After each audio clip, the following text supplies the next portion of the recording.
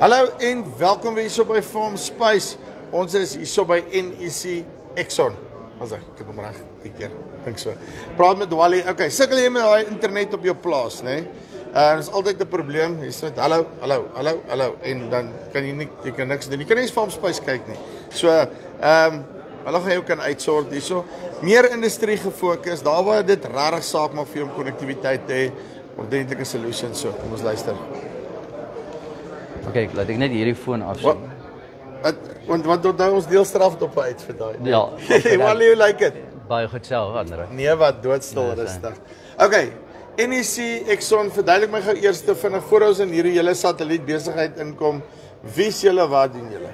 Okay. NEC Exxon is 'n stelsel integreerder wat werk met verskillende verskaffers en waar ons dan hierdie verskaffers se produkte en dienste vat, dit integreer rondom die behoeftes van die kliënt. So ons vat multiple verskaffers, multiple verskillende tegnologieë en verskillende oplossings en ons bind dit saam om die probleem van 'n kliënt in in totaliteit op te los. So as ek nou reg as ek sê julle kan nou satelliet internet vat saam met alternatiewe energie wat julle daar doen. Daar's ook julle een van 'n besigheid wat ons net nou sal kyk wat die ehm um, kyk na jou gewasse en daai tipe van goed.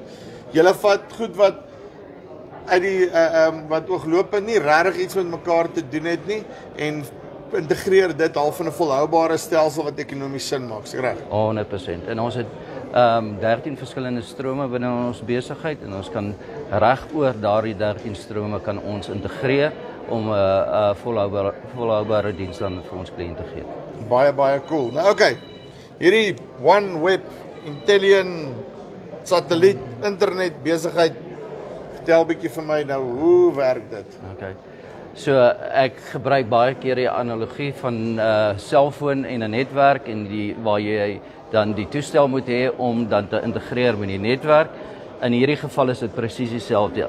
Die verskil is net hierso is die netwerk in die lug. Ja. Die netwerk beweeg en die terminale is vas aan die area waarna hy gekoppel is. So ons het vier verskillende terminale wat ons offer. Uh dit is hierdie tipiese een wat jy nou net afgeneem het, die Intellian um dual dome. Ja. Uh wat uh die OW70 is. Jy kan hom ook in 'n enkel dome kry wat die OW50 is. Hier agter my het ons so pas die uh, uh net op uh uitstalling die use uh 1120 wat 'n flat paneel is en buitekant het ons ook ene wat operasioneel is wat uh, die Kometa flat is. Kom ons kyk so daarso net van dat Ja. So hy is tans heeltemal operasioneel. Ons het hierso ook dan vir ons 'n Wi-Fi hotspot geskep. Ons het die soortgelyke gedeelte gedoen aan aan afgrade by afgrade by afgrade het ons in toevallig die dual dome geïnstalleer. So hier kan jy sien hierdie uh, flat panel jy met hom net horisontaal ehm um, posisioneer nadat jy hom horisontaal geposisioneer het, is hy funksioneel. Hy moet net soort van uh 30 uh grade oop te rondom hom hê om in uh met die lugruim te kom uh kommunikeer. En dan en dan operate hy. En dan werk hy. Dit is 'n doodeenvoudige installasie, geen kompleksiteit nie. Jy het 'n uh, uh as hy krag gebruik is ook baie baie min. Ehm um, so uh solank jy net 'n bietjie krag op hom het, uh as hy is hy operasioneel en aan die ja. ander kant kan jy natuurlik verskeie ander produkte ook sit om dan 'n groter area te dek. Nou sê gou vir my nê, nee, ek sê nou die ding so kyk. Ehm um, ek weet Starlink is nou in elk geval dood, maar dis al iets wat mense al bietjie meer verstaan. Ehm um, jy hierdie ding wat nou die satelliete koppel en so voort. Maar hoe verskil die besigheid van Starlink se storie af ehm um, um, as as 'n produk. Okay. So hierdie produk uh is 'n uh, heelwat gedifferensieer van vanaf Starlink. Starlink is 'n best effort diens. So ja. jy weet uh best effort dit beteken nou maar net hulle gaan hulle beste gee om vir jou sein te gee altyd maar as dan nou nie sein is nie ja, wel sorry. Ja, wel daar dit is nou wat soos dit is.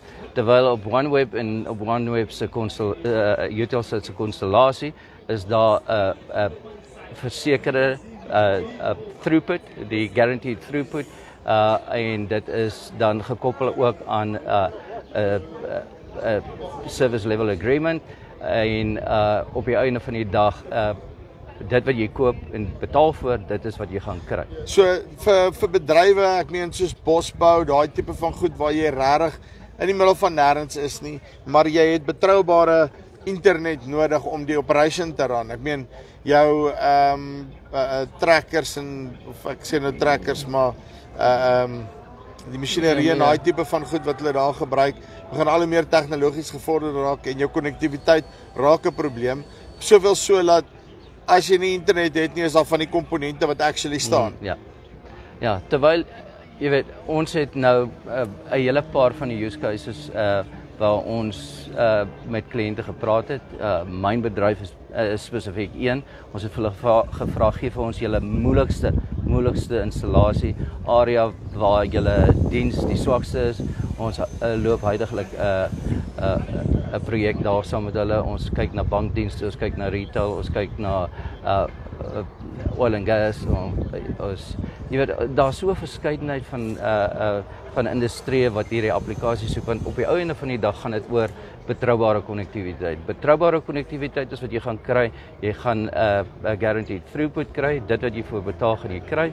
Um en uh op die ou ende van die dag glo ons dat dit 'n uh, wesenlike impak gaan hê op die konnektiwiteitsstrategie van van van besighede want dit gaan nie net suiwer oor besighede hier nie. Dit gaan ook oor die sogenaamde konsep van connecting the unconnected want ons het produkte aan die ander kant van uh van hierdie konnektiwiteits uh uh oplossing waar ons dan uh verspreide uh sinvolle uh radio verbindings kan vestig by by kliënte om ook die internet by hulle uit te bring.